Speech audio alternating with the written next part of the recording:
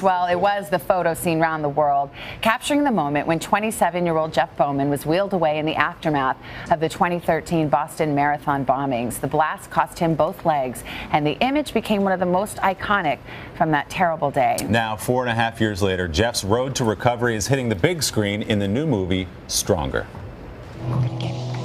Up, hips back, hips back, chest up, chest up. Jeffy. Chest up, ah, okay? Chest up, chest up, chest up. Good, good, okay? That's amazing. Good. Okay? You are so tall. All right, first keep I going. can't. I can't. And Jeff is here this morning along with Jake Gyllenhaal, who plays Jeff in the film. Good morning, Morning, gentlemen. guys. Morning, morning, morning. Just watching that clip, I saw the movie last night. I mean, it really grabs your heart, and it's it's so moving. And I can't imagine, Jeff, what it was like for you to watch this unfold because it, at least to the viewer, it felt so real. How did it feel to you?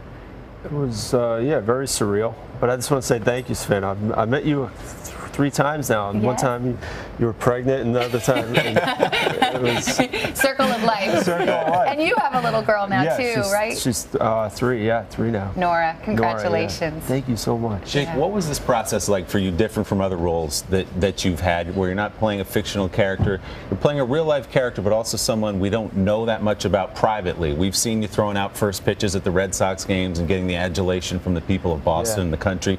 What did you have to do differently to study Jeff? I mean, first of all, it was a hu- I felt a huge responsibility, not only to Jeff first and foremost, but to his family and to the city of Boston, and then to anybody who really saw that photograph or who you know had any feelings about what what happened to him on that day.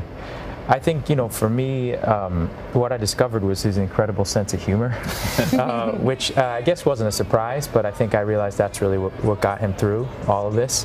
I think that's sort of that's what's in the movie, and and I think also just the incredible community around him. You know, the people with all their complications and all their you know messiness and complexities, they all love him so much, and you start to realize that's that's the the only thing that matters in, at all. I'm glad you mentioned the humor because I mentioned my tears, but I have to say that it is, you play it w- with such heart and you really see, Jeff, your personality, and you are a very, very funny guy. Um, I know the premiere was, he's like, thank you. I'm very, that's right, I've been quite hilarious. Um, He's like, thank you. That's thank right. you. Don't be so serious You over see me staring off into space earlier? I was reading the teleprompter. Jake, tell them what happened. We were doing the tease before. Yeah, it was doing the tease, and they were like, and now coming up next is Jake, Jake Gyllenhaal, and Jeff Bauman, and Jeff was reading the teleprompter. I was like, wake up! You can't put a teleprompter in front of me. I'm gonna read Actually, it. this is perfect because also during the clip, Jake's like telling Jeff, like, perk up, okay, we're on, we're on, this is it. He's hitting me. I was like, we got three minutes, man. Stay awake, stay awake. Keep your energy up, man. So let's talk about the premiere because this is really cool. It was the premiere for the movie was in Boston at the Spaulding Rehabilitation Center, where you actually recovered, and a lot Yeah. of the film was shot there. It was amazing to have it at Spaulding. It was, you know, it brought back a lot of memories. But you know what's great is that, like, my head PT Michelle Kerr, she's in the movie. She's got a shot, and Is she the one you call the Rottweiler? no, No, that's, that's Odessa, Odessa. Boykin. Oh, okay, uh, sorry. She's She a was my she was my head nurse Oh. At BMC. She's in the movie. and she took out Jake's uh, breathing tube and or my breathing tube too in real life. So These were your real caretakers who are Yeah. now in the movie, which is Yeah. just amazing. Yeah. used Jeff Kalish my surgeon, his voiceover to explain to what happened to me to my uh, to Clancy and Miranda, and Yeah. that all that stuff like really, you know, hits hits me hard, and, and it's like whoa. It's funny, yeah. Dr. Kalish came in because there were a lot of actors auditioning to play doctors and nurses, and David Gordon Green, our director, was sort of not satisfied with all the performances. He thought we were, had a meeting with Dr. Kalish to discuss what happened with Jeff, and uh, Dr. Kalish, uh, we thought we turned to each other and said maybe he can play the doctor. So we had him come in and audition, and he was really not good.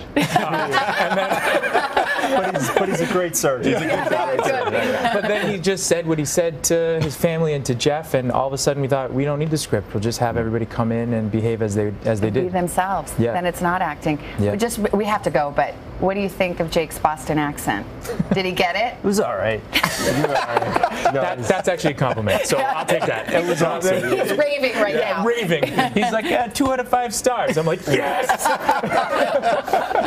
he worked really hard. He did, and it and it shows. Yeah, It's it does. it's really excellent. Thank, Thank you you. so much, Congrats, Jake guys. and Jeff. Thank you. Thank you guys. Good to see you. see you Stronger hits theaters on September 22nd. Check it out.